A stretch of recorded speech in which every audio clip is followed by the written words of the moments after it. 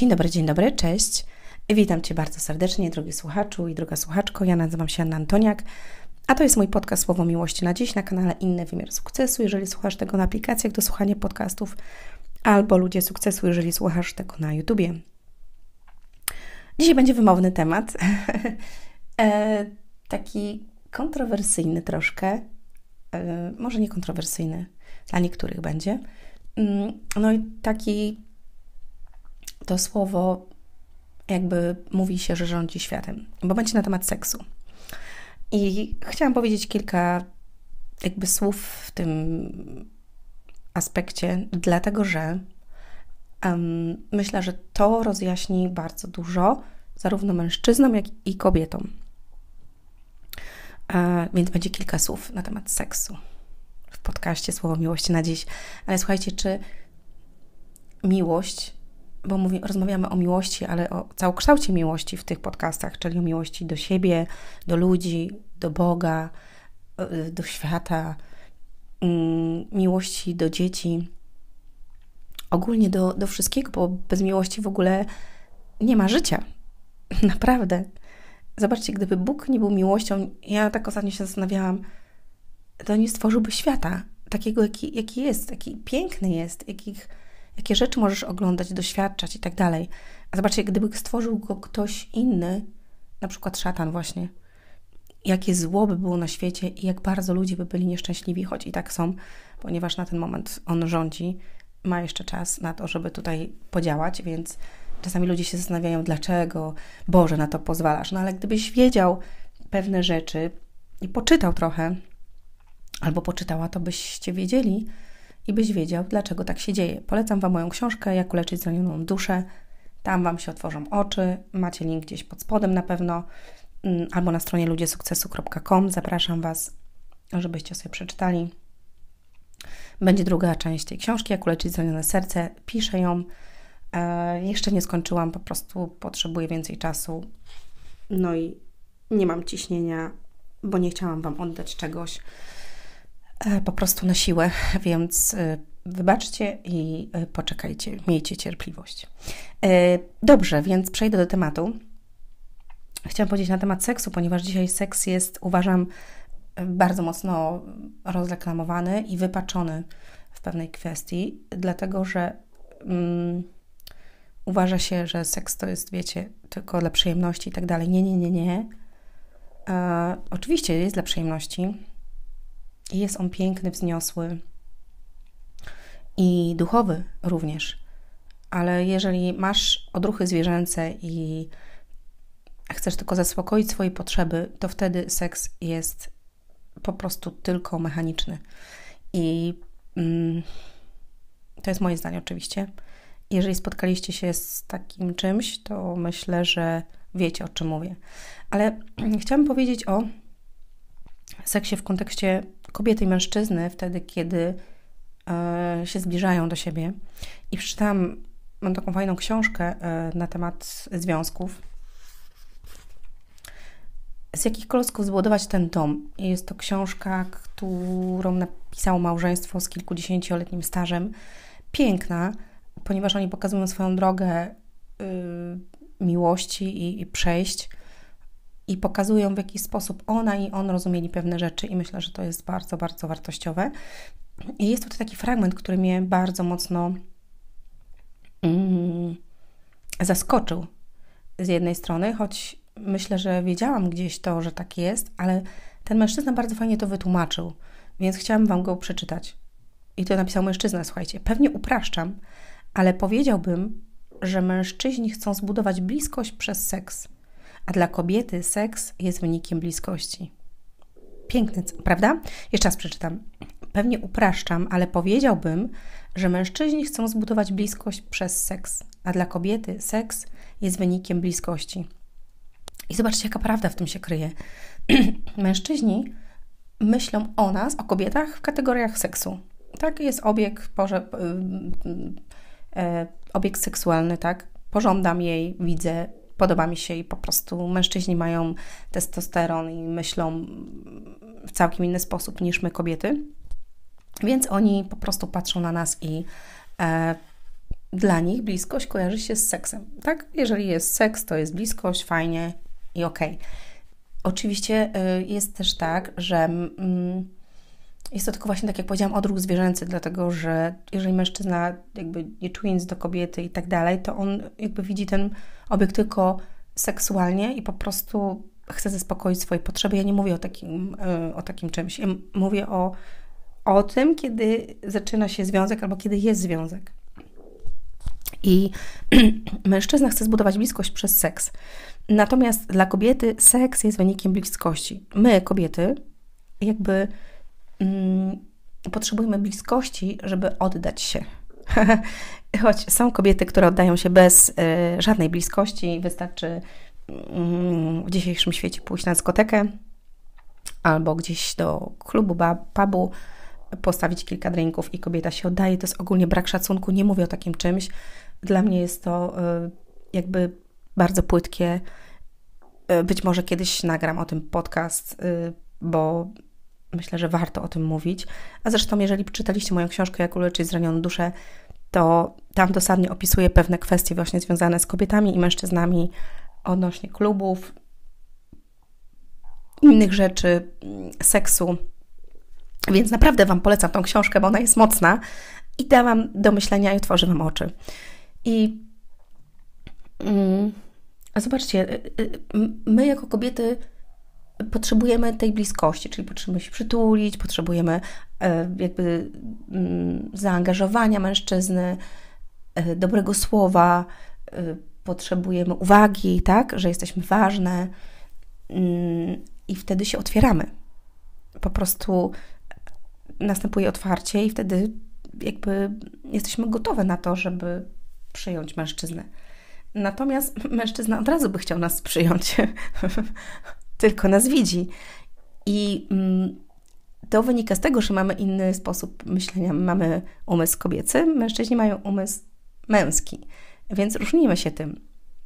I dla przykładu Wam powiem na przykład taką sytuację, y, że jest małżeństwo i mm, wieczorem pokłócili się, albo coś wyniknęło, mm, jakaś sytuacja, która nie została wyjaśniona, co jest bardzo złe, jeżeli w danym dniu e, małżeństwo się pokłóciło, para się pokłóciła i oni nie zażegnali tego konfliktu wieczorem, to rano wstają i ten konflikt dalej jest, uwaga, i on się pomnaża i dalej się tli. I to jest tak, jakbyś nie zgasił tego ogniska i on się dalej tli i rano wstajesz, wiatr podmucha i po prostu już jest. Nie wiem, czy mieliście tak, zakładam na 99%, że tak, że jeżeli nie zażegnaliście tego konfliktu wieczorem, rano wstajecie dalej, atmosfera jest ciężka.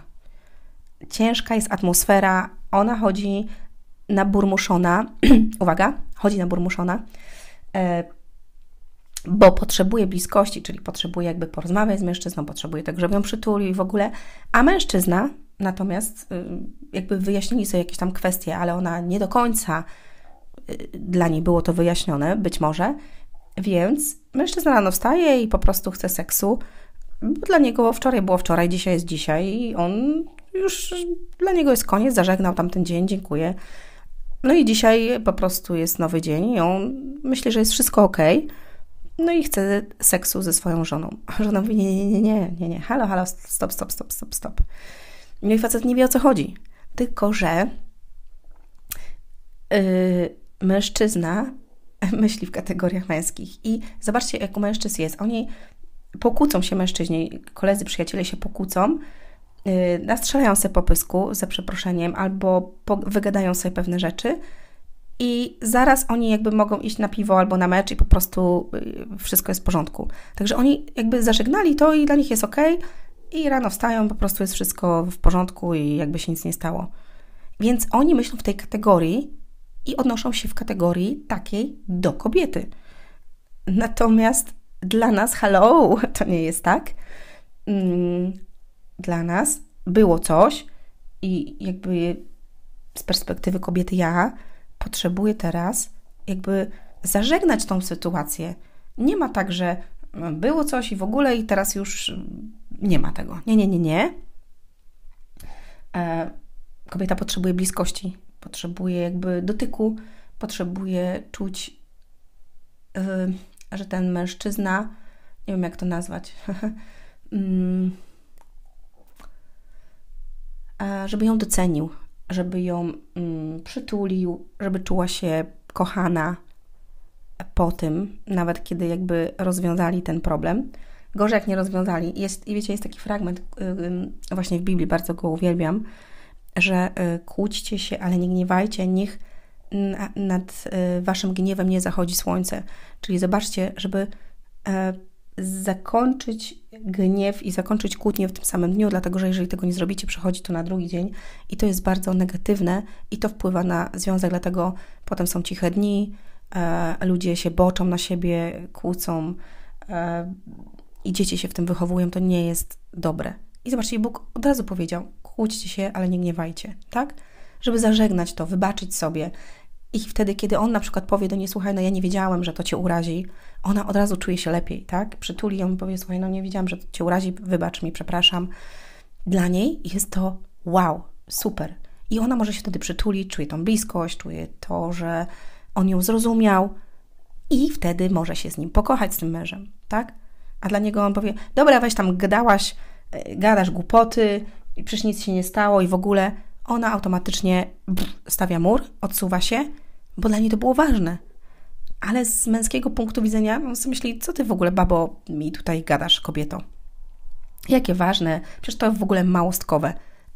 Ale dla niego, bo dla niej, widzisz mój drogi, było to coś. Więc yy, dlatego yy, umysł męski i damski jest całkiem inny i musisz wiedzieć, drogi przyjacielu, że jeżeli taka sytuacja jest, to warto mm, właśnie powiedzieć w taki sposób, że nie wiedziałam, że ci to urazi, wybacz, przeprosić, po prostu przytulić ją, podejść, jak robi śniadanie na przykład i przytulić od tyłu, pocałować ją w kark. W ogóle wiecie, bliskość jest niesamowita dla y, kobiet zarówno i dla mężczyzn. Y, w zależności też od tego, y, jak lubicie wyrażać miłość i jak czujecie się kochani. Ja często robię ćwiczenia z moimi klientami na sesjach, e, żeby oni wiedzieli też, w jaki sposób czują się kochani i ich mąż, partner, w jaki sposób czuje się kochany, kiedy co. Tak? Więc to jest bardzo ważne. Jeżeli ty nawaliłaś, to ty jakby um, fajnie, kiedy powiesz do swojego męża, że jest ci przykro i że przepraszasz, że go to uraziło. I wtedy, jakby sama zaczniesz inicjatywę do seksu, to dla niego będzie niesamowite. Także to y, podpowiadam akurat teraz kobietom. Y, więc pamiętajmy, że my się różnimy względem mm, tego. I seks jest piękny i wzniosły wtedy, kiedy dwoje ludzi sobie ufa, kiedy dwoje ludzi czuje y, i pragnie tego samego, i kiedy dwie dusze jakby są podobne do siebie i mają jednego ducha, to jest niesamowite, bo wtedy on smakuje inaczej. I uwaga, um, w małżeństwie i w związkach też seks smakuje inaczej, dlatego że wy się znacie, poznajecie, yy, macie swoje przyzwyczajenia, ktoś wie, jak was dotknąć, żeby dobrze wam e, było.